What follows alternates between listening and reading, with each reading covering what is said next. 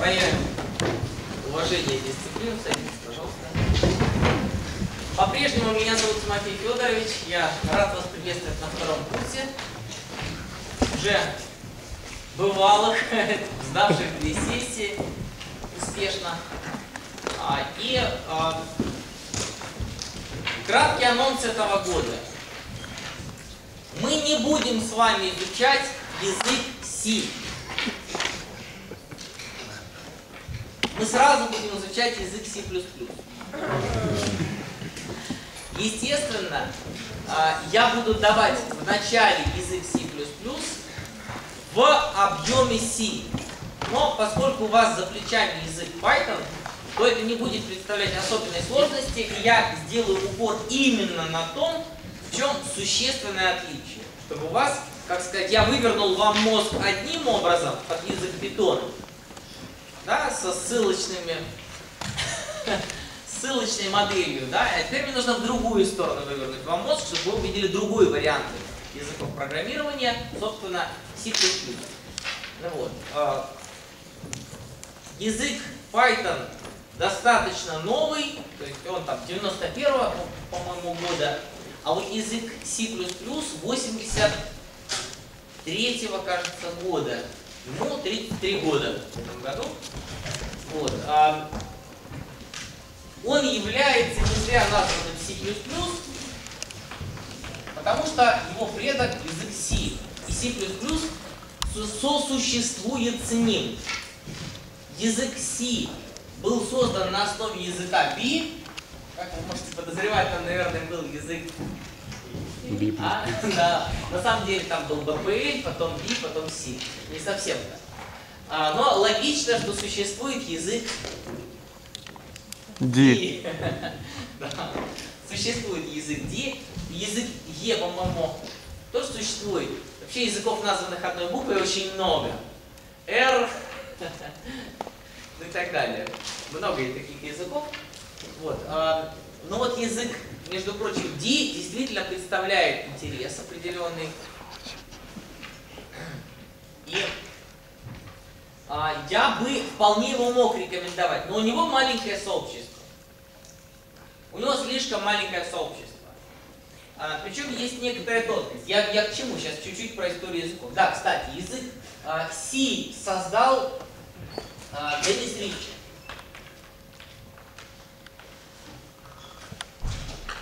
Книжка такая есть классическая, в основном все первокурсники по информатике читают именно ее. А, Керниган, Брайан Керниган, Деннис Ричи.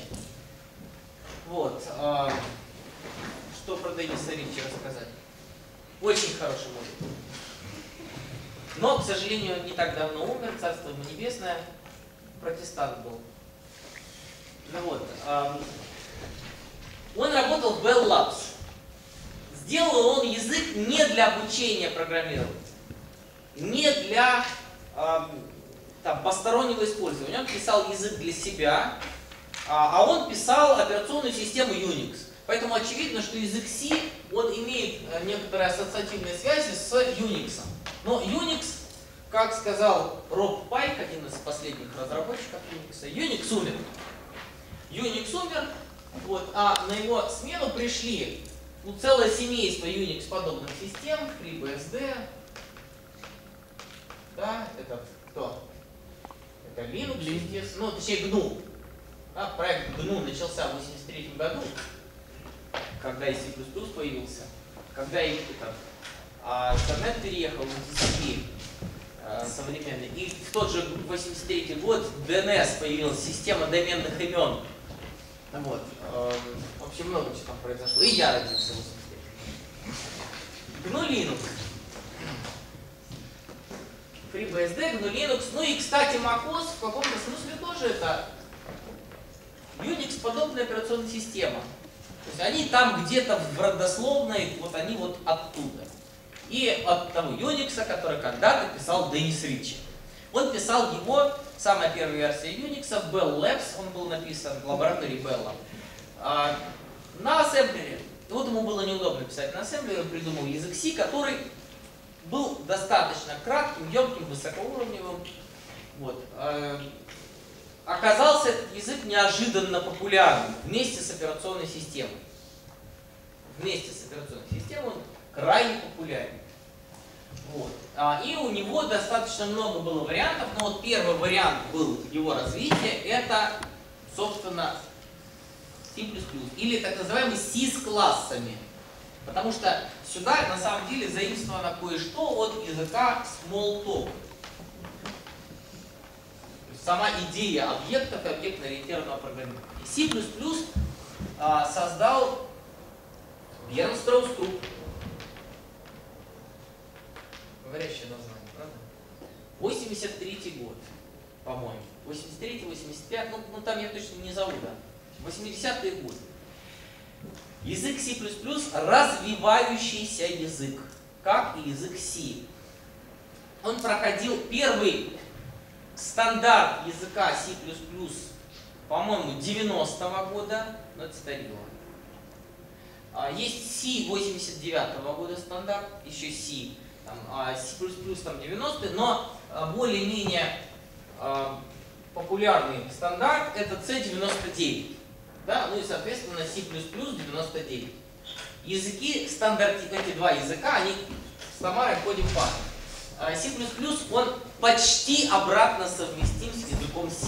Почти, вплоть до там каких-то нескольких конструкций.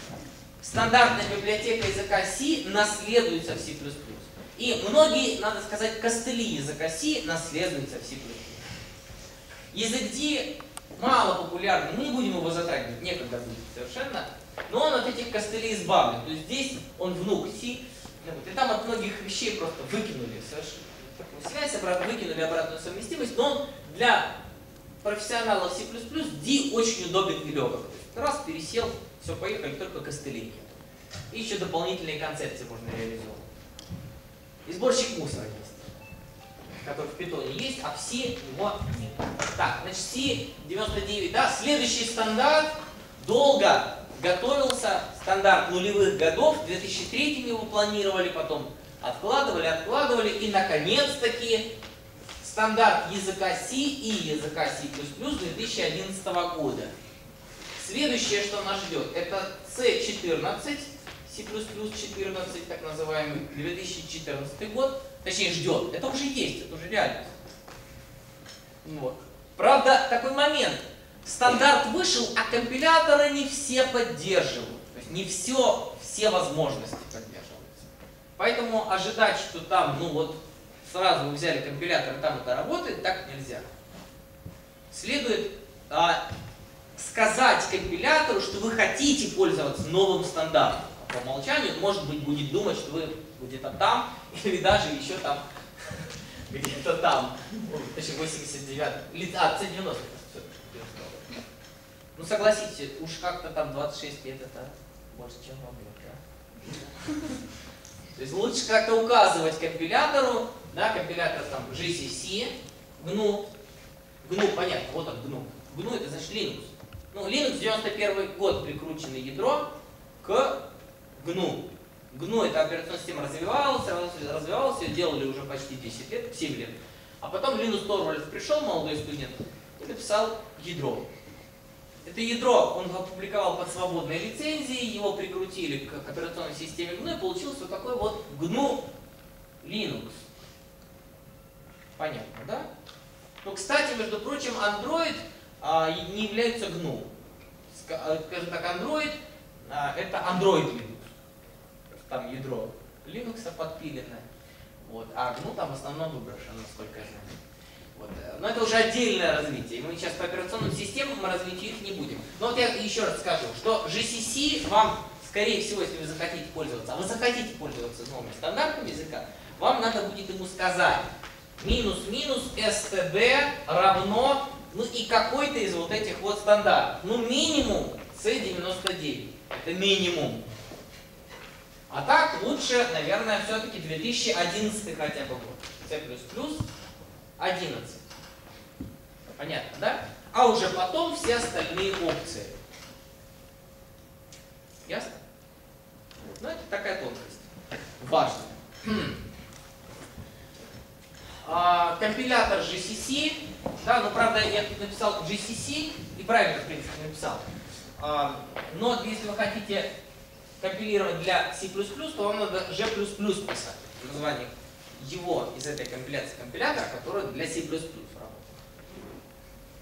Ну, раз уж я стандартный C++ написал. Ну вот кратко я историю вам рассказал языков. Значит, что язык этот живой, развивающийся и крайне, крайне популярный. Большая часть программ в мире, я не назову вам процент, но больше 50% программ в мире, действующих и работающих, написано на языке C.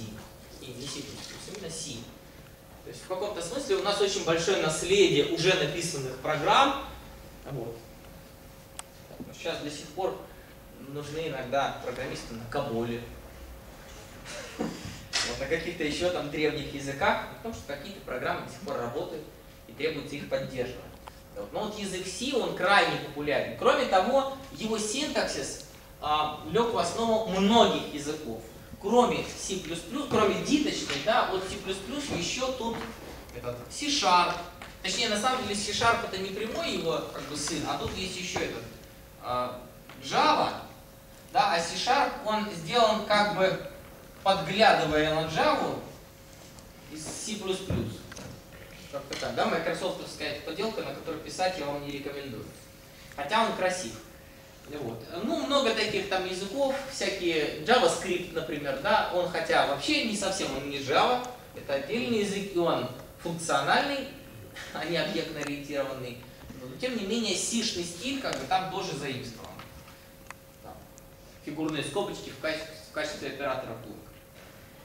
Вот. В общем, знание языка C и C++ открывает на самом деле очень широкий вход в языки программирования, поэтому их вы не минете. Абсолютно точно. Ну вот, давайте с вами приступим. Итак,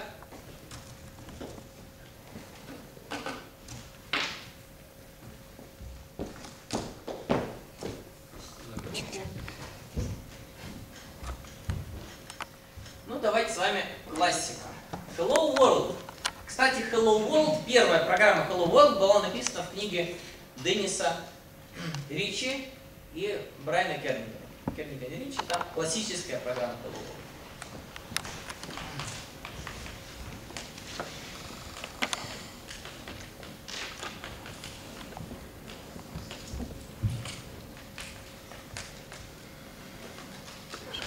Include IOStream, int main, фигурная скобка открывающаяся, std, двоеточие, двоеточие, cout, меньше меньше,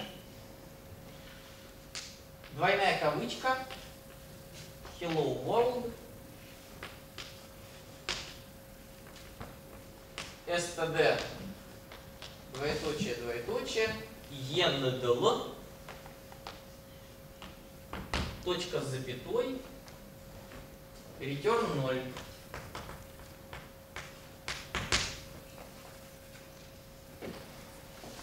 Первое.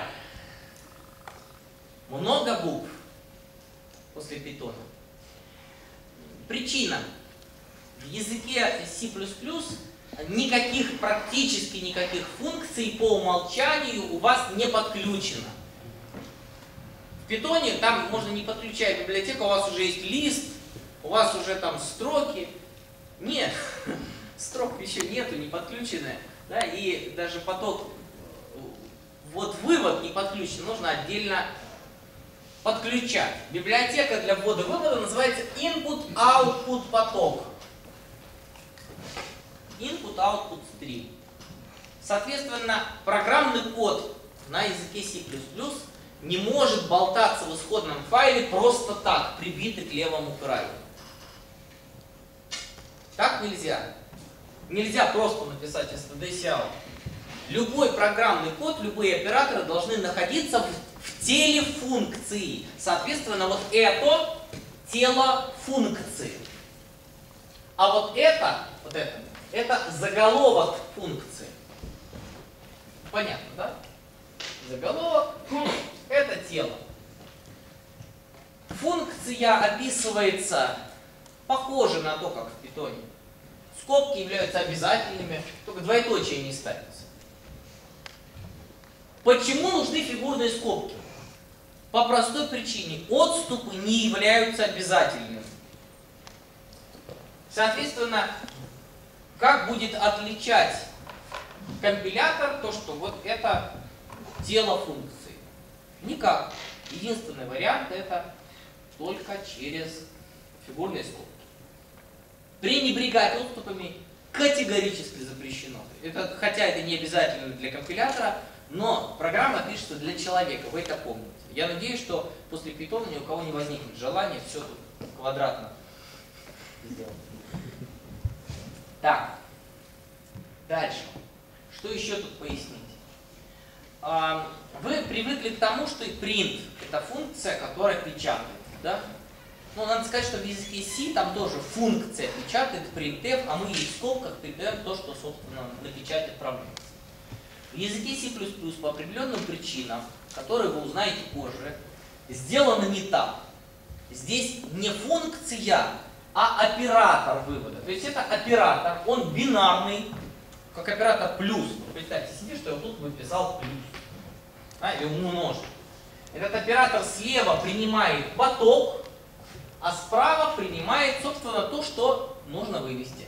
Этот поток является объектом, который описан в этой библиотеке, и ну, таких потоков вообще-то там описано целых три. Это C-in, C-out и CR. Для чего? Потому что любой вычислительный процесс по умолчанию имеет три потока. Поток 0 это stdin, стандартный ввод. Поток номер один или дескриптор один, хотя вы с дескрипторами работать, с дескрипторами работать не будете. std-out и поток с дескриптором 2 std error, поток для вывода ошибок. Для чего это надо? Дело в том, что операционная система Unix, она вообще-то не графическая изначально, она консольная. Да и сейчас Linux работает на огромном количестве вычислительных устройств, которые в принципе не могут быть присоединены к экрану, Например, всякие роутеры, маршрутизаторы, какие-то управляющие маленькие станции на самолетах. Благодаря Linux очень многое в мире происходит. Вот. А, и для этого совершенно не нужно, чтобы был графический интерфейс, окошки, навороты. Она очень легкая, требует мало ресурсов, если она не десктоп. Вот. И, соответственно, Unix и потомками можно управлять через только консоль. В консоли пишутся скрипты. И эти скрипты запускают, собственно, вычислительный процесс. Так вот, системный администратор или скрипт, созданный системным администратором, вот, специалистом, обслуживающим такие консольные компьютеры, он очень часто перенаправляет вывод программы в файл, ну, чтобы можно было потом посмотреть логи Открыть и посмотреть, что программа вывела, почему она поломалась, что-то не то произошло. Он читает логи и все обнаружит. Понятно, да? При этом стандартный вывод можно перенаправить в один файл, а вывод ошибок либо оставить на консоли, то есть идет процесс, все у вас отправляется в файл, но ошибки по-прежнему высвечиваются на консоль, вы их глазами видите. Или же в отдельный файл, который, если не пуст, то вы можете посмотреть, что там за ошибки бывают. Понятно? Это типовая задача, поэтому вот так сделано, потоком. Есть еще одна фишка нетривиальная.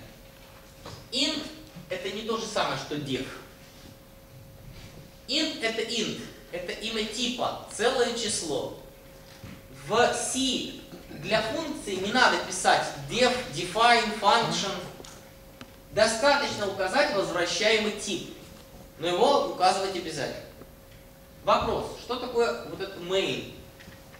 Ответ, это главная функция. Такая главная функция должна быть в программе только одна. То есть я могу тут написать еще кучу функций, там int там, f, int x, да, и у нее внутри там, return x умножить на x.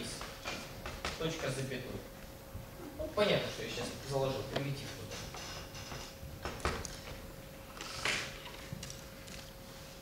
Пожалуйста. Но функция main только одна. Именно с нее начинается исполнение, и ей оно заканчивается. Ну, потому что, еще раз говорю, программный код не валяется просто так. так если программа это куча функций, то есть у вас есть вот как некий файл, да, там 1.cpp, у вас есть куча функций, там f, g, там a, да, с какой начинать? Ответ с main. То есть main запускает весь процесс, она запускает функции, да, там какие-то функции запускают другие функции, потом все это дело возвращается обратно в main, когда main вернет значение, конец программы. Вопрос, что же она возвращает? Она возвращает код ошибки. Этот код ошибки можно посмотреть. То есть я, допустим, выполняю g++ std c++ 11.1.cpp у меня в результате порождается автоматический файл с убогим названием a.out тем не менее, я его запущу. a.out. Вопрос, как я узнаю, что же он мне выдал? Ну, это все я запускаю в консоли. Ну, то есть вот у меня консоль, bash, да? Я не буду все предыдущее рисовать. Вот приглашение ковода. Я нажал Enter. Программа выполнилась молча. Ну или, а, не молча, она написала hello world. Я не буду переписывать. Как мне узнать, что там был return? В Linux я знаю, как это сделать. В Windows, честно сказать, ни разу пока не, не нащупал. В Linux это так сделать. Эхо, доллар, вопрос. И вы можете узнать, что вернулось из ретерна. Это код возврата. Ноль значит нулевая ошибка. То есть все ок. Если там будет не ноль, ну, нет, не всегда. Ну, в смысле, ничего страшного не произойдет, программа выполнится корректно, но на скрипт, который выполняет, будет думать, что она завершилась некорректно. Типы целых чисел. Если вы думаете, что int это единственный целый тип, вы ошибаетесь.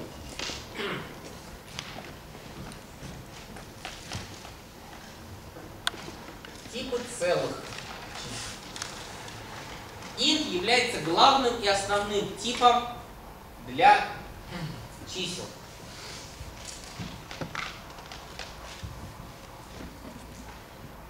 У него типы формируются в языке C++ и в C, соответственно. Ну, там сейчас система одинаковая.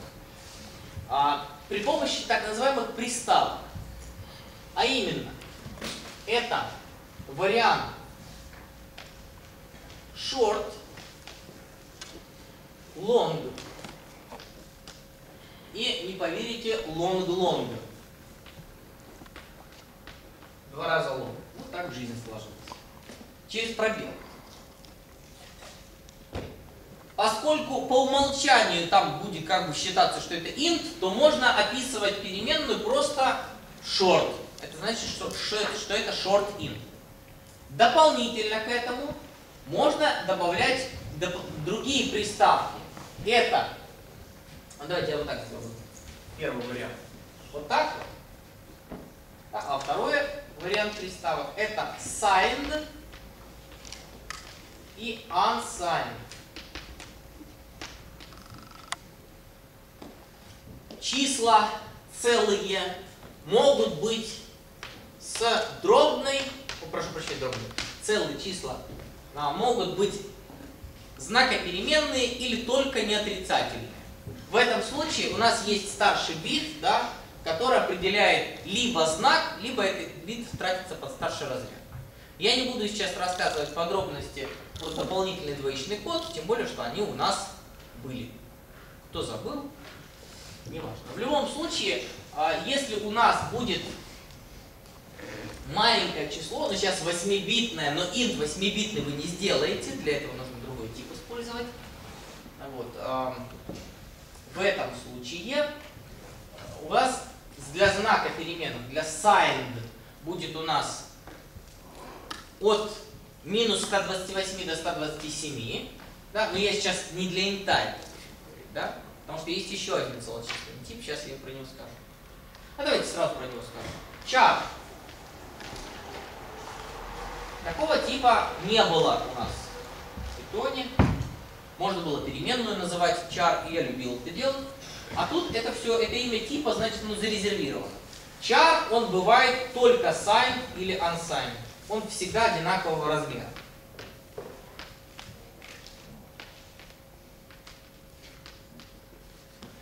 Язык C вредный очень. Знаете что? Он архитектурно ориентированный. Ну, соответственно, C++ тоже. Это означает, что int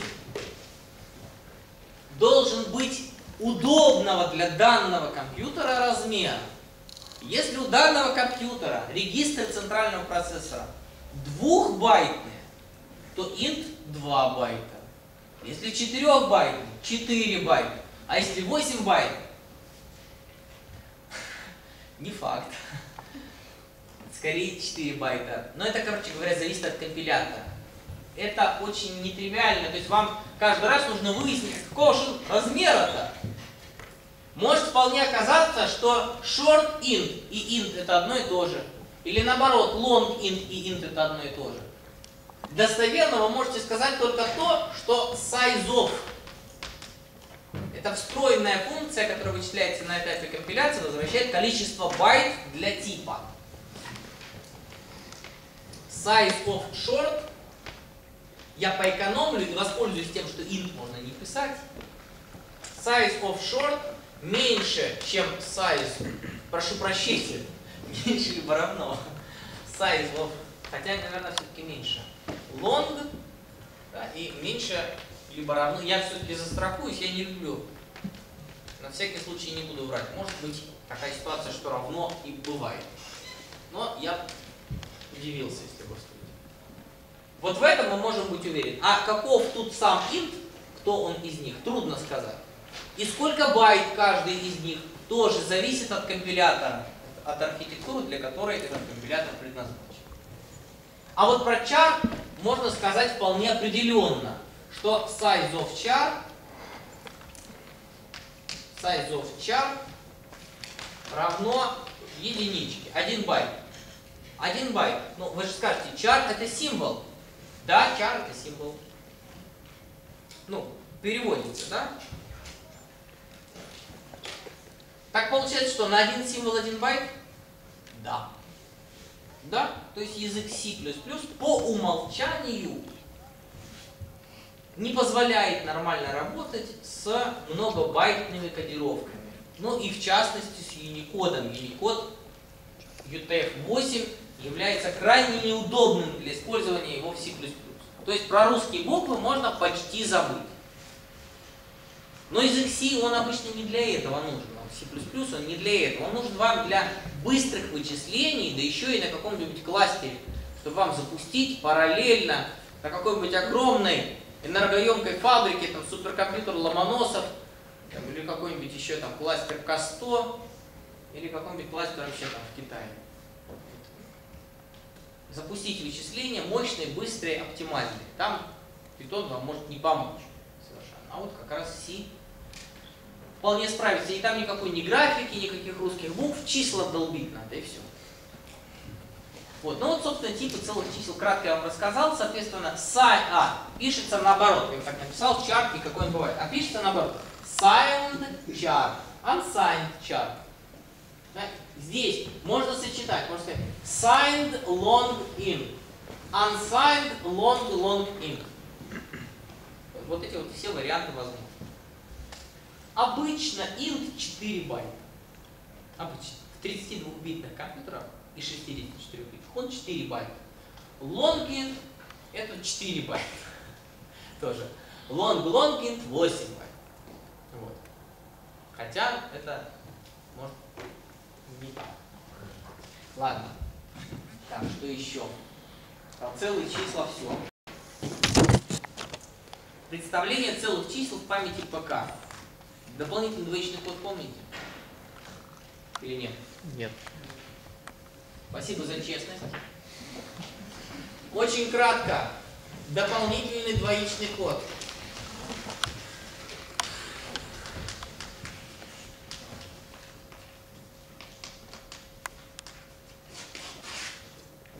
Как хранятся числа? Я сейчас буду на примере чара. Чар signed char.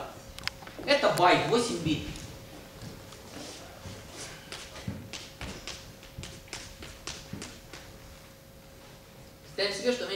Маленькое достаточное число.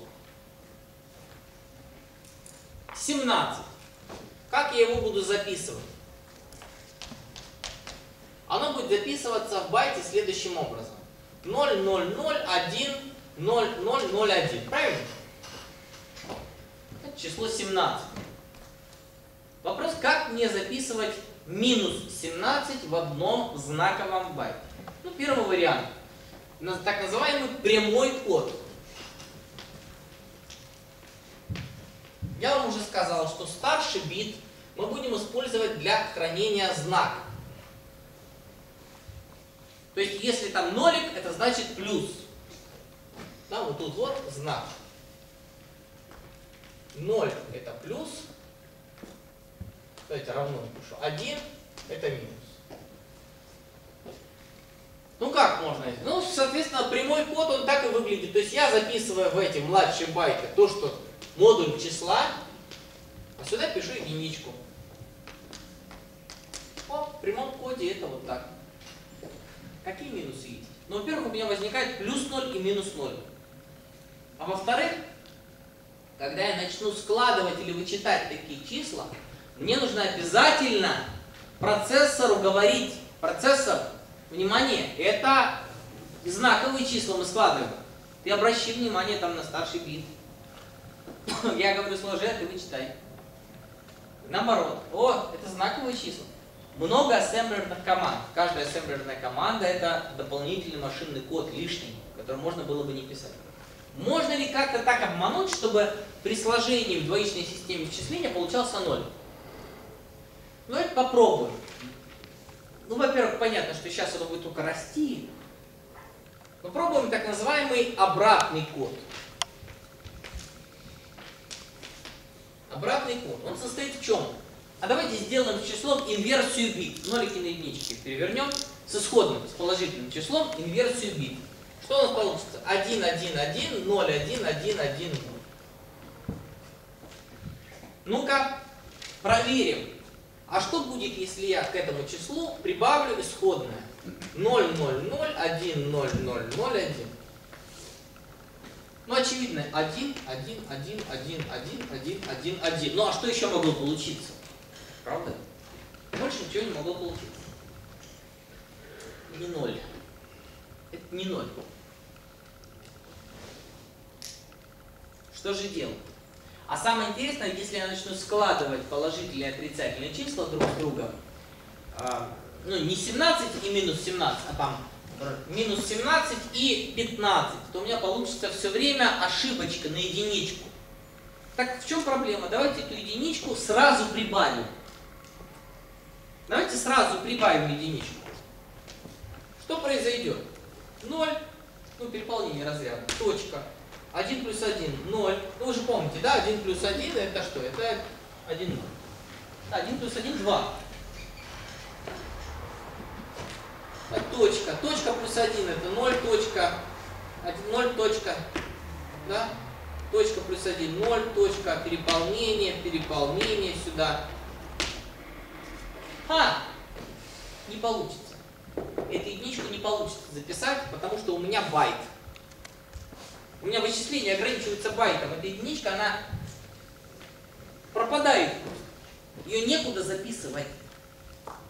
Физически у меня кончился сумматорий, у меня там подсуммирование однобайта чисел, у меня один байт результата. Понятно? Этот бит попадает в так называемый флаг переполнения в процессоре. Ну, можно спросить, было переполнение или не было, но это уже отдельный вопрос. Можно не спрашивать. Это не является ошибкой. Но, видим что? За счет переполнения мы реализовали ноль.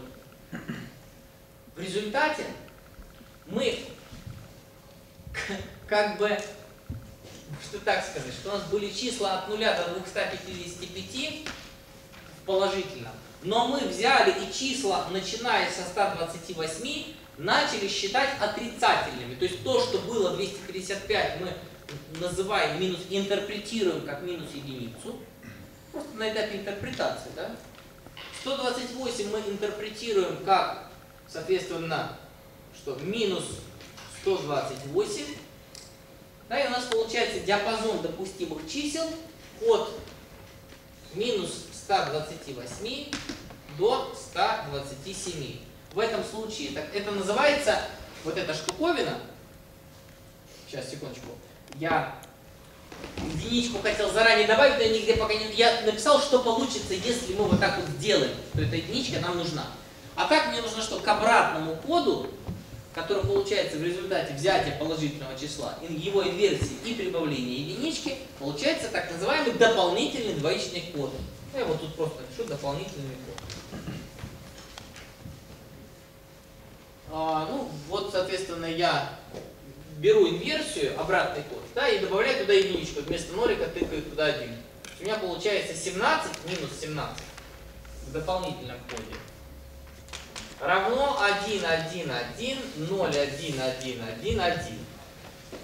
Вот такое представление у меня имеет минус 17 в памяти реальных компьютеров. Потому что дополнительный двоичный код экономит нам количество транзисторов в процессоре. Просто меньше нужно в этом арифметико-логическом устройстве, меньше нужно устройств на сложение, вычитание, меньше машинных кодов, так проще жить. Так оно устроено. Вот. Отрицательных чисел как бы на одно больше, чем положительных, потому что одно положительное уходит на ноль. Вот. Ну все, вот такая красота. Много времени арифметические операции в языке C++. Не знаю, что вам тут рассказать, кроме того, что в отличие от Python, у нас int не бесконечный. То есть у него есть реально вот эти 4 байта, которые хм, можно переполнить просто и получить неправильный, неожиданный результат. Поэтому нужно внимательно следить за тем, что вы складываете или умножаете, и не получится ли случайно у вас результат вылезающий за пределы типа. И язык C++ не выдаст никакой ошибки, если это случится. Он молча проглотит, просто вы получите бессмысленный арифметический результат. Он думает, что вы умный. Раз вы делаете, ну, сами знаете. Это звонок? Что, давайте отдохнем.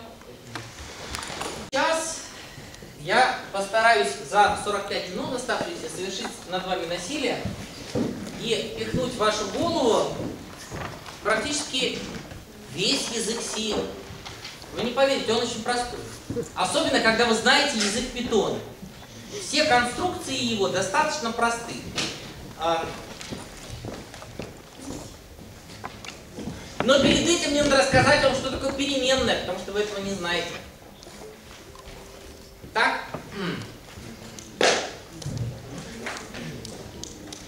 Так, смотрите. Давайте лучше сюда смотреть. Что такое переменная? Переменные и присваивание. Опять же, вы этого пока не знаете.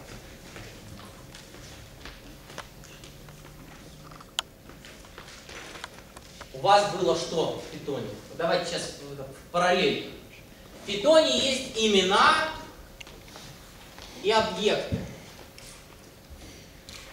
И когда вы пишете x равно 2, то у вас имя x связывается с объектом 2 типа int.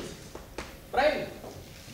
Когда вы после этого возьмете и напишите x равно hello, никаких проблем, у вас создался объект hello типа str, и имя x указывает на этот, да, сюда оно больше не указывает, и сборщик мусора уничтожает объект, на который никто не ссылается. Да? Все понятно?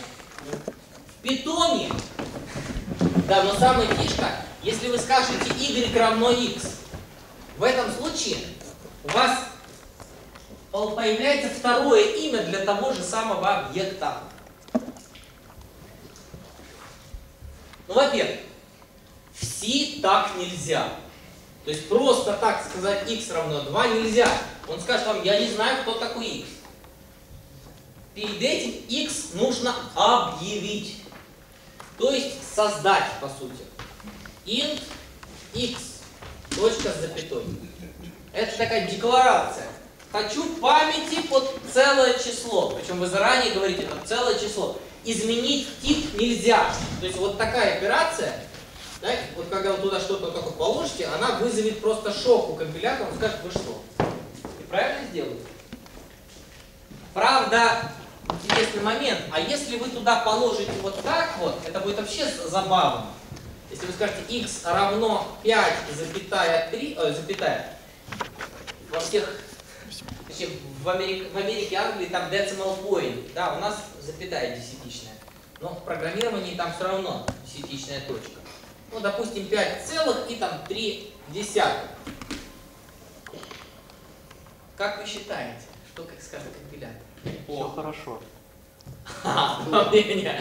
Почему? Плохо или хорошо? Хорошо. Ответ такой. Он промолчит. Да, это называется неявное приведение типов. Такая зараза. Она столько ошибок из-за нее возникает.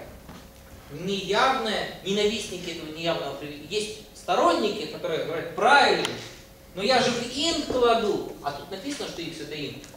Это int x могло быть за 10 страниц до этого. Вы смотрите, x равно 5, 5 3, все нормально. А самое страшное, когда это возникает в середине операции. Неявное приведение типов. Вот. Поэтому это он как раз сглотит. Но что произойдет? Первое. Когда я сказал int x, у меня появляется ячейка с именем x, в которую, а в которой, между прочим, не может ничего не лежать. Память уже отведена, тип уже закреплен, причем тип закреплен не за памятью, а за иксом. Что такое тип? Это способ интерпретации двоичных данных. То есть у меня сколько-то байт данных там лежит, сколько int сайзов int занимает, да? И, и int это способ интерпретации этих данных. И там лежит какой-то двоичный мусор. То есть, ну, если вы купите кусок земли, то там кто-то жил до вас. Динозавры закопаны на какой-то глубине. Может быть нефть, или там хотя бы вода. Вот. Следы. Да, вот точно так же в переменной, когда вы взяли переменную, вы эту память взяли не из пустоты. Она пришла вам из предыстории какой-то. Там, на стеке, ну она скорее всего на стеке, это будет локальная переменная со стека. Но на стеке до вас кто-то жил, кто пользовался, освободил эту память, и там мусор какой-то лежит. Вы думаете, нолики там? Нет. То есть там, если вот тут вы выведете, после того, как вы объявили переменную, вы выведете на экран std out x, вы удивитесь. Вот. Но вот как только вы туда присвоили, это называется инициализация. Кстати, из-за вот этого мусора желательно инициализацию делать сразу в момент создания переменной. Ну или вот так хотя бы. Если вы еще не уверены, что туда положить. Хотя бы нолик. Это инициализация в момент объявления переменной. Желательно. Питоне это обязательно, по-другому вы просто не создадите. Имя не появится без объекта. Объекты, имя существует только вместе с объектом, указывая на него. Вот. Ну, сейчас все. Ну, я нарисую два, хотя надо было бы двоичный код сюда записать. Пускай сразу два. Да? Когда я пишу x равно 5,3, да, временный объект типа float у меня существует, но, возможно, он вообще в памяти не хранится. Он может у меня как раз в регистре процессора неявным приведением округляется до пятерки. И пятерка пишется поверх. Но самое интересное происходит, когда у меня не одна переменная, а две. Кстати, можно объявлять их вот так. Через запятую. Я сейчас уберу изначально инициализацию. int x, запятая y. То есть я в одной строке могу объявить не одну, а две, три, десять переменных. Сколько надо, вот так через запятую могу их там набрать себе. Я зарезервировал себе не одну, а две ячейки памяти ну, одинакового типа, которые пока мусор. Когда я напишу y равно x, это Копирование. Это именно присваивание. То есть у меня вот эта пятерка копируется. У меня появляется дубль пятерки. Понятно? Переменные типа int являются изменяемыми. Когда я напишу x плюс равно 1, а давайте вот y, y плюс равно 1, да, то у меня y изменится. Это копирование один раз произошло, а это разные объекты, они были разными, просто скопировалось значение. Изменился y. В питоне, ну давайте я hello беру отсюда, да? Нет, а, ну 5 я сюда положу. y равно x, да? Это у меня 5, тут вот лежит. А потом я говорю y плюс равно 1. Так вот, в этом случае это что? Это ну, присваивание по-питоновски, да, то есть это y равно y плюс 1, то есть создается новый объект, который появляется в результате пятерки плюс 1, то есть 6, новый объект, и y начинает на него указывать. Понятно, там другая логика. Объект создается, y начинает на него указывать. И это все для неизменяемых типов Python ведет себя похоже на C. Поэтому, когда наоборот пересаживают C на Python, то там возникают большие проблемы в момент, когда начинают работать со списками, с изменяемыми типа, даже как это два имени одного объекта. Вы привычные люди, нормально два имени одного объекта. Сейчас, одну секундочку. Саша, меня лекция сейчас.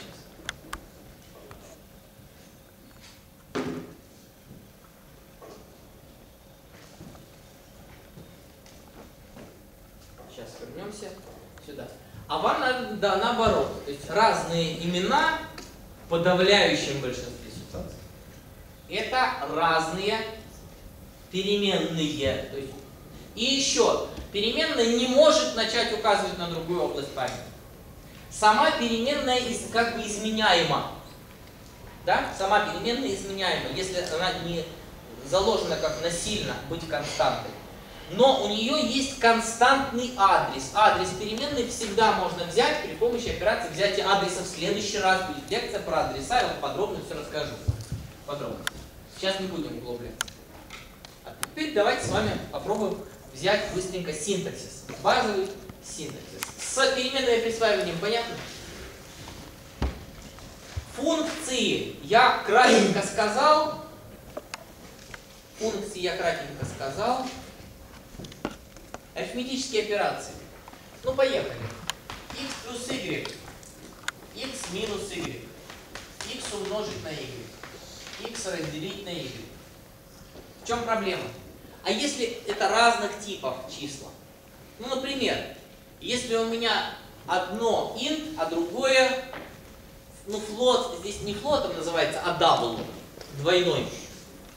Это то же самое, что флот, но называется он double не знаю, куда написать. Вот возникает вопрос, а если у меня int число или переменная, да, плюс double?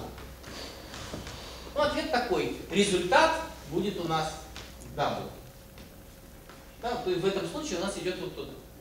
А если у нас вот эта операция int разделить на int? int. Да, действительно, это у нас int. То есть мы отсюда что понимаем? Что вот эта операция это то же самое, то же самое, я тождественно напишу, что x разделить на y в питоне. Понятно? Ну, операция x процент y работает только над целыми числами, ну и хорошо. x процент y, значит то же самое почти, почти, потому что язык архитектурно ориентированный, а Intel когда-то давным-давно, а может быть не Intel, даже кто-то до них, придумал, негодяй, придумал операции div, ассемблерную операцию с машинными кодами, которая вот работает на процессоре, сделать математически неправильно. При делении отрицательного числа на положительное возникает отрицательный остаток. Это нелогично с точки зрения, ну как сказать, вычетов. Но вот так там сделано. А язык C++, он вот как работает процессор максимально приближенно. Да? Поэтому эти операции, они строго соответствуют ассемблерным инструкциям. Поэтому там математически неверно получается при делении отрицательного на положительное. У нас возникает отрицательный остаток. Ну и эта операция, она, соответственно, там на единичку будет отличаться. В случае отрицательных чисел. Вот. Так. А как же нам поделить два числа так, чтобы получился double? Вот мне нужно взять две третьих, например. Как мне это сделать? Один А? double на другой. Что? Один double на другой поделить. Ну, достаточно одного double а, исходя из вот этой логики, да, что int с double ом в арифметическом действии вступая становится double ом. То есть int привести, привести к даблу легче, да, и правильнее. Да, ну, если бы это были константы, то можно это сделать вот так. А если это у меня y, x разделить на y, где x, y это индовых типов? Ответ такой, мне требуется явное приведение типов. То есть в питоне это решено чем? Тем, что у нас обе операции присутствуют. И та, и та. И одинарная черта, и двойная черта. А здесь только одна, вторую не придумали. Вот. А, как сделать? Ну тогда так, смотрите. x разделить на double от y. Ну, то есть я насильно говорю y сделать double ом и поделить x на этот удабленный y. Можно оба привести к double у, но это уже не обязательно. Достаточно одного. Так, с арифметикой разобрались. В языке C много так называемых битовых операций.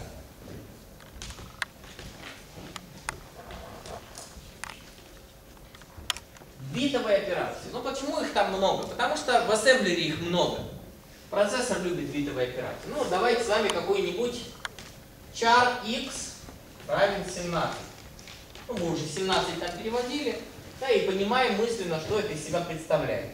Это значит, кстати, а, комментарий в языке C однострочный делается вот такими как раз двумя черточками деления целочисленным. Это на самом деле комментарий. Однострочный, то есть от C до конца строки, как решетка. Вот, а что я хочу написать сюда? Я хочу написать а, 17. А, его внутреннее представление. 0, 0, 0, 1, 0, 0, 0, 1. Так вот, что я могу сделать? Я могу этот x, но я правда не знаю, как это сделать. Давайте я заведу переменную y. И вот так будет. y равно чпонька x. Тильда. А, это операция инверсии. Та самая, которая помогает нам нолики на единички, единички на нолики. В этом случае никаких арифметических, это не арифметические действия, это побитовые логические операции. Просто взяли и нот сделали. Соответственно, у меня что получится в результате? 1, 1, 1, 0, 1, 1, 1. Как это интерпретируется как число, это не касается этой операции. Она не думает об этом. Дальше. Это операция Так, а как она пишется у нас? Операция восклицательный знак X. Внимание! Для языка C логических типов не существует. Нет логического типа. Була нет в C. В C++ исправили это недоразумение, был появился. А, но, тем не менее, вот такая операция существует, и она определена для чисел. Это логическое, не битовое, логическое не. Оно считает истинным любое ненулевое число. Единица истина, 5 истина, 40 истина, 255 истина. Да? А не x он делает из любого числа не нулевого 0, а из нуля единичку. Поэтому восклицательный восклицательный знак x это будет что у нас? Если число было 0, оно останется нулем, если оно было каким-то, то станет единичкой. Ладно. Дальше. Это, соответственно, это битовое, это, это не битовое. Следующее. А, давайте z равно x и y. Это битовое и. Битовое и, ну я на коротких числах покажу. 0, 1, 0, 1, 1, 1, 0, 0. Что у нас получится? Ну или давайте вот так. 1, 0, 0, 1, 1, 1, 0, 0. Если я делаю логическое битовое и, то у меня 1 и 0 это 0, 0 и 0 это 0, 0 и 0, 0 и 1 это 0, 1 и 1 это 1. То есть у меня может возникать такая забавная ситуация, что у меня число 9, 9 и, а это число у меня 12, у меня равно 8. Понятно, да? Потому что это вообще не арифметическое, она рассматривает именно как просто битовое вот множество бит, последовательно. Но есть и вот такая операция, логическая и. Два импрессанта, идущих подряд, оно, если мы применим его к вот таким числам, выдаст нам единичку. Потому что истина и истина это единичка. Прошу прощения, два импрессанта. Но на всякий случай нам же нужно логически, а мало кто-то сунет вместо э, единички, то для единиц эта операция работает так же, как это. Для нолика и единички. Но если кто-то сунет туда не, не ноль или не единичку, а вот большие числа, то вот эта операция будет работать неправильно. Соответственно, логическое или, прошу прощения, битовое или и логическое или две вертикальные черты это OR, это AND, это OR, а это битовый и, это битовый или. Ну и есть замечательная операция, которая есть только в битовом варианте, ну в небитовом она тоже есть, но это операция XOR. Она пишется вот такой вот крышкой. X, крыша, Y. Это вообще забавная операция. Как она действует? x, ну я тут напишу XOR. Это исключающее или. Я его рассказывал. То есть, если у нас 1 или 0, то 1. 0 или 0 это 0, 0 или 1 это 1, 1 или 1, XOR это исключающий или, истина или истина для XOR это ложь. Вторая лекция этого семестра про третий, алгебру логики. Понятно, да? То есть это, это зачем она нужна? Много для чего нужна, криптография она нужна, и еще много где нужна. В частности, в частности, мы можем показать забавную операцию, господи, помилуй, я не успею вам рассказать все. Так много хочется, и так мало успевается. Обмен двух переменных через XOR. Рассказываю без объяснений.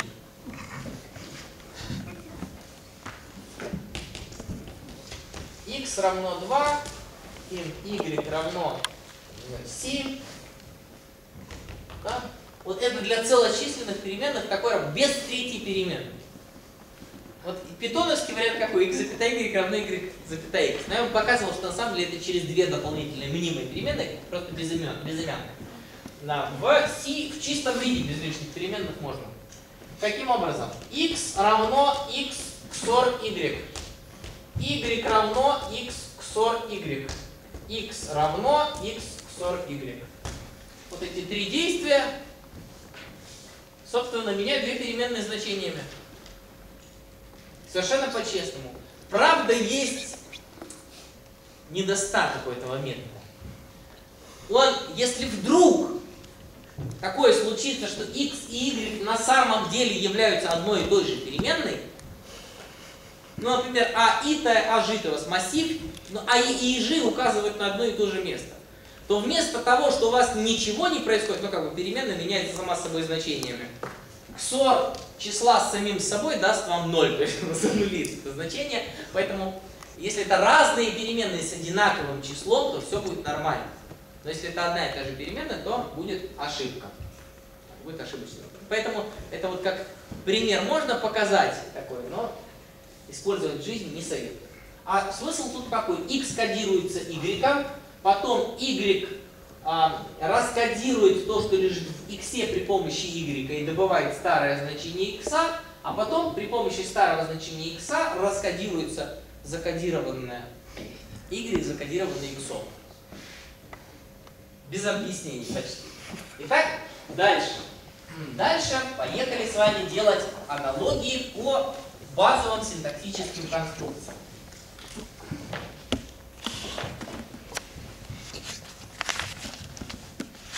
Итак, а, условия if, там, например, x больше нуля, двоеточие, print x else, давайте elif, elif x больше, чем минус 10, print минус x, я, я так что-то пишу else, что написать? Ну, print no. Ну, как-то так. А, что исправляем? Ну, понятно, вывод надо исправить, да? Сделать его сишным. В самих конструкциях. Первое, самое главное. Убираем двоеточие. Второе. Условия пишем в круглых скобках. Потом, элифа никакого нету. Элифа никакого нету. Надо просто писать else пробел if. То есть если у меня каскадная условная конструкция, пожалуйста, пишем else if. Проблемы с отступами нет. Просто я не делаю лишний отступ и все. Что еще? Ну, у else не надо скобок писать. Доставляем двоето, э, точки с запятыми, прошу прощения. Точки с запятыми. Доставляем. Если же я захочу делать по условию if не одно действие, а несколько, то мне придется что сделать? Написать фигурные скобки, которые возьмут в обрамление, потому что иначе получится, что не одним оператором я оторвал, а несколькими. Тогда он уже теряется, а где if к этому else. Понятно? Поэтому здесь, если несколько действий, то пишем, там, не знаю, x плюс плюс. Ну, кстати, я не рассказал вам про эту волшебную операцию. Есть такая замечательная операция в языке C. C++. И плюс-плюс C тоже есть. Вот умножьте множители. Хотя, смотря как сказать. А, что это за операции? Обе эти операции делают почти одно и то же. Они изменяют переменную. На единичку увеличивают. Есть операция c минус-минус, минус-минус c. Но неважно. Я так специально балуюсь, пишу с c. А на самом деле, конечно, какой-то переменной, любой, это можно написать. Оно изменяет значение переменной на, единичку. Почему же две? Потому что вот эта операция возвращает старое значение x, а это увеличенное на единичку значение x. И это старое не уменьшенное, это новое уменьшенное. То есть в каком-то смысле вначале вы читаете, потом возвращаете. Ну это так, это мелочь, ладно. Ну понятно, это то же самое, что плюс равно 1 или минус равно 1. Ну понтово писать так красиво. Плюс, плюс. Так, рассказал. If понятно, да? С ифом есть вопрос? Значит, это был if. А теперь цикл while. Цикл while. Давайте напишем какой-нибудь цикл while для ну, известного простого алгоритма. Ну, например, там, где мы у числа откусываем по цифре и суммируем цифры. Пойдет? У нас число x да, равно 1, 2, 3, 4, 5. Пока что x больше нуля, двоеточие, digit равно x процент 10, print digit. А, ну и принты я не переделывал в сяуты. Ну понятно. Вместо принта, ну там сяо x. Вот так. А, Соответственно, сейчас пока я пишу питоновский вариант. Print, соответственно, digit. А, я зачем печатаю? Печатать это не обязательно. Зря. Я хотел завести некоторую переменную s равно нулю. Здесь s плюс равно digit. Плюс равно digit.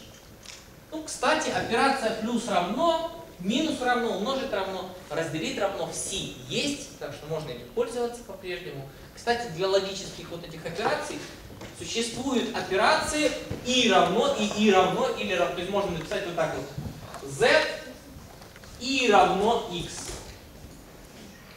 Понятно, да? То есть это применить битовое из z с x и положить результат в z. Ну и для остальных тоже есть. И для XOR тоже есть какая-то сокращенная форма. Ну и в результате, чего там, print s. А, я забыл, у x я хотел откусить x равно, ну или разделить равно 10. Вот так, да? Точек запятыми не надо. А можно вопрос, там все-таки двоеточие или в скобочках условия? Это питон. А, вы питон пишете? Я питон пишу, переделываю на C++. И там было то же самое. И так будет сейчас дальше. Ну давайте еще вот такую ситуацию ставлю.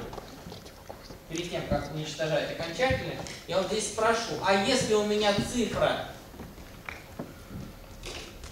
равна 7, равно равно 7, двоеточие, break. А давайте так, uh, continue. elif digit равно равно, допустим, 9, двоеточие break.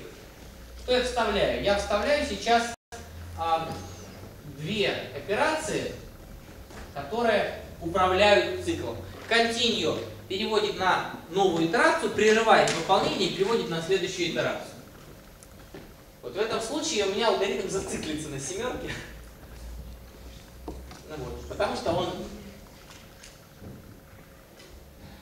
Я не удаляю. Ну просто я так сейчас захотел сделать, чтобы было. Да? А если девятка, то он прерывает на девятке и перестает суммировать. Ясно? Значит, давайте с вами реализуем это теперь на C.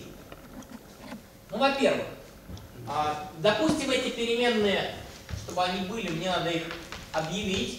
Я сейчас их объявил и сразу присвоил. Так можно. int x равно. Точки запятыми в конце обязательно. Круглые скобки while обязательно. Двоеточие убираем. Это все в теле цикла. Раз это все в теле цикла, значит фигурные скобки, которые это тело цикла обрамляют. Отступ является синтаксически необязательным, но ради этикеты и красоты мы его делаем. Локальную переменную хочу в теле цикла. Пожалуйста, можно, но объяви ее int digit равно. То есть добавляем приставочку имя типа для того, чтобы создать эту переменную. Она будет локальной внутри тела цикла. Да? Для вычисления. После тела цикла этой переменной не существует. Ну, в питоне это все молча происходило, да, то есть мы просто писали digit, потом digit уже нету, но и не надо. Здесь нужно явно все-таки создавать. А, точка с запятой. Процент нормально работает, плюс равно работает. У if а, как я уже писал, круглые скобки. Кстати, равно равно работает так же. Это сравнение. Оно в питоне заимствовано, можно сказать, из Continue. Работает. Continue. Ну, else я уже говорил да, else. If в круглые скобки убираем двоеточие, break, точка, запятая. Break работает, логика та же. Ну, единственное, что касая одинарной двойной не существует. Вот. Согласны, что все просто? Ну, понятно? Ну, чуть-чуть привыкнуть. Условие всегда берется в скобки. Я люблю пользоваться not and or. Сложные условия при сложных условиях, то есть если бы у меня была вот такая ситуация, например, если я встретил семерку или девятку, то прервать выполнение. Да, в этом случае я оставляю внешние скобки, а здесь мне нужно написать что? Или, да? Для C++ я пишу вот так, но честно сказать, я полюбил пользоваться нормальным словом или, и слава богу, оно в языке C++ допустимо, только вам для этого надо подключить стандартную библиотеку со страшным названием CISO 464. Ну, потому что ISO это стандарт, C это значит из языка C мы добаваем библиотеку стандарта ISO 464, которая как раз и говорит, это стандарт, о использовании логических OR, AND, NOT, XOR в языках программирования. Ну, маленькая помарочка и дальше OR можно писать. Я так делаю.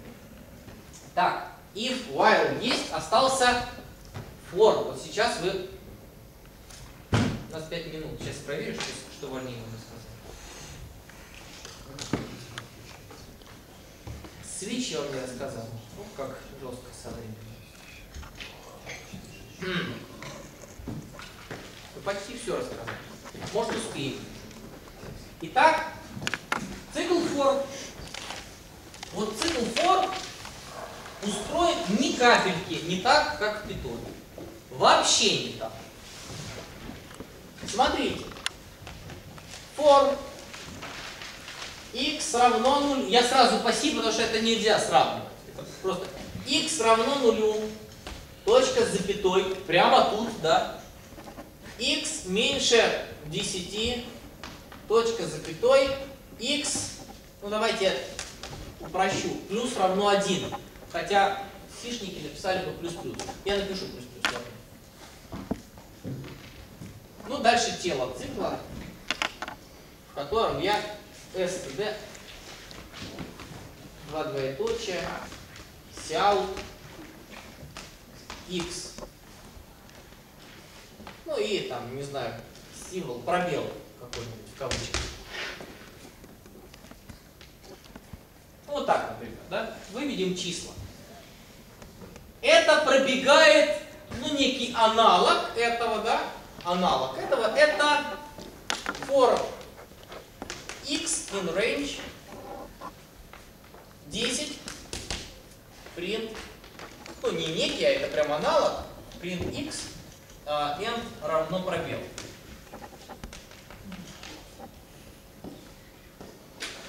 Но на самом деле никакого цикла for в C++ нет. Это фикция. Синтактический сахар. То есть необязательная конструкция, которая может быть с легкостью эмулирована другой конструкцией. Внимание! For это while.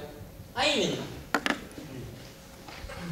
а именно, это полностью аналогично, то есть это аналогично по смыслу, но совершенно не аналогично по, смыслу. А теперь полностью аналогичное по действиям. Я пишу следующий код. x равно, ну давайте x равно нулю. Точка с запятой. Дальше, пока x меньше 10. Фигурную скобку открываем. Что делаем? std, ну, то, что написано, сяо, дальше тело цикла. А потом при переходе на следующую итерацию выполняется вот это вот действие. А именно x плюс плюс. То есть у меня получается вот эти три штуковины, они расставляются по следующим местам, следующим позициям. Первая до заголовка цикла while, вторая в условия цикла while и третья после тела цикла в конце каждой итерации. Понятно? Так что циклом for можно не пользоваться, но можно пользоваться. Вот он, можно циклом while не пользоваться. Самый легкий способ зациклить язык C++ это написать for, точка запятой, точка запятой, скобка закрывается, точка запятой. Это бесконечный цикл. Так, ладно. То есть там после for стоит или нет? Так, Не, вот, вот. нет. Это точка запятой, тут пустой оператор. Там ничего не стоит, да. А, По-прежнему, чтобы пользоваться циклом for, мне нужно вводить x до того, как я его использую.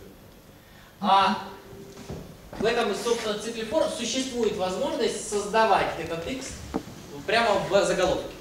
Это очень хорошая возможность, но она появляется с 99 года стандарта. Поэтому я старым прям не компилирую почти никогда. Так, остался еще один. Потерпите? Это каскадная условная конструкция. Обычно я раньше наоборот всегда рассказывал. А, я говорил так, а вот в питоне этого нету. В питоне нету и приходится делать ифами и лифами и объяснял, что это не так уж и плохо. А вам я наоборот скажу, в C есть такая штуковина. Смысл, который не будет понятен, а почему нельзя ифами и else ифами, раз уж они все равно есть. Но они есть. Называется это switch. Switch конструкция. Итак, предположим, что у меня есть какая-то интовая переменная x, которая чему-то равна. Я хочу перебрать варианты, но она целочисленная, то есть у меня есть какой-то конкретный вариант значений, чему она может быть равна. Я хочу в разных ситуациях разное делать. Ну, например, switch переключатель, switch x, switch x. А дальше открываю фигурную скобку. Кейс 0, двоеточие. Ну, давайте что-нибудь напишем, не знаю. Сяут. Мы сейчас просто циферки будем выводить.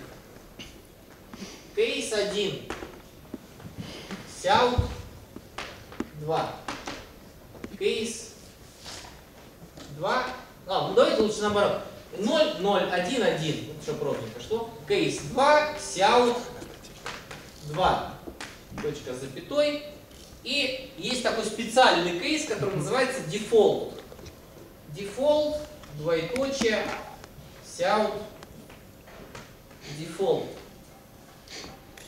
Я сейчас отобью у вас охоту пользоваться этой конструкцией.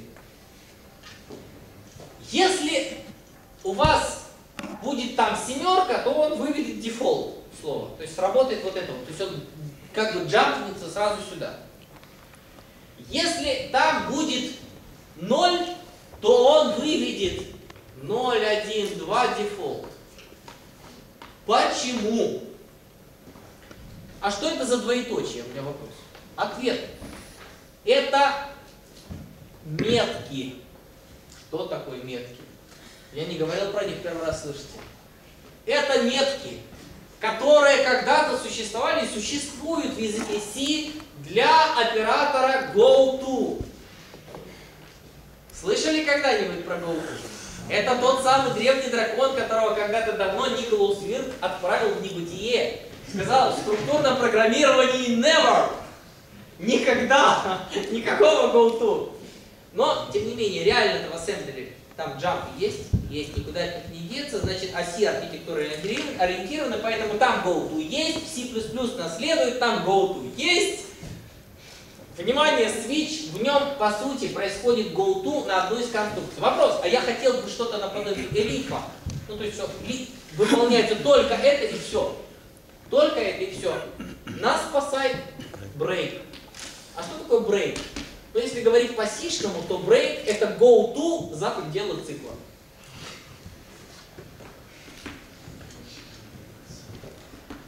Вот. Ну, у самого последнего break можно не ставить. Вот. Если вам... Где использовать switch? Можно не использовать switch. Лучше не использовать switch. Но его экономно использовать там, где вам действительно нужно выполнить в нулевом случае все, в первом случае почти все, во втором чуть-чуть, а там в дефолтном почти ничего. Понятно? В такой ситуации это может оправдать себя. Поэтому да, конструкция существует. И она легко переводится в ассемблер. Понятным способом. Дети, спасибо вам за терпение и внимание. Спасибо.